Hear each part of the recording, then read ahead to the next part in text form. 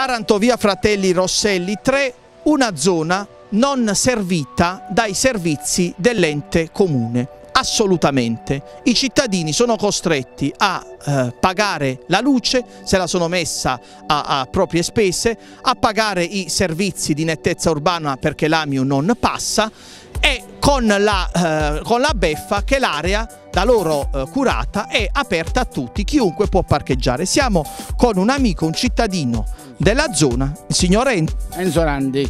Ma Quanto spendete voi? Eh, spendiamo 4-5 mila euro all'anno, lei oh, si è dimenticato, paghiamo 3.500 euro all'anno di occupazione solo pubblico, luce come le aveva detto, acqua, manutenzione fioriere e paghiamo la ditta di pulizia.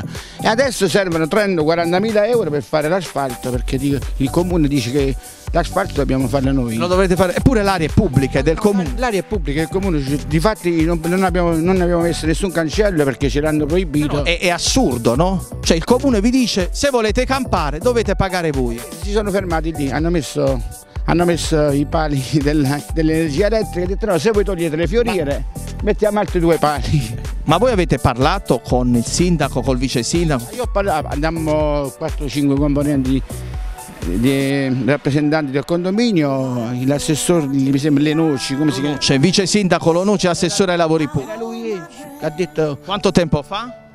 Quando hanno messo questi non so, un anno e mezzo fa, penso, un due anni forse, sotto le pertinenze, ha detto purtroppo quello, ci sono le fioriere, non possiamo metterli.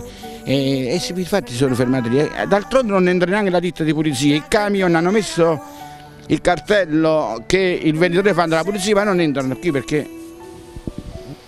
È il caso di dire, come diceva Totò, e io pago, e io pago, e l'amministrazione comunale non esiste, vero? Non è, penso proprio di no a questo punto, grazie comunque, sempre per il cittadino lei combatte. Grazie avvocato.